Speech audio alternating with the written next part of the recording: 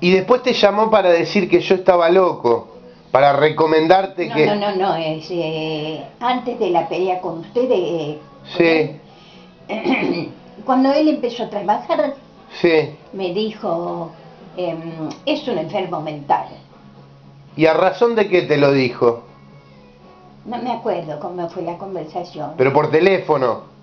Sí, por teléfono. Claro, él quería grabarte diciendo eso.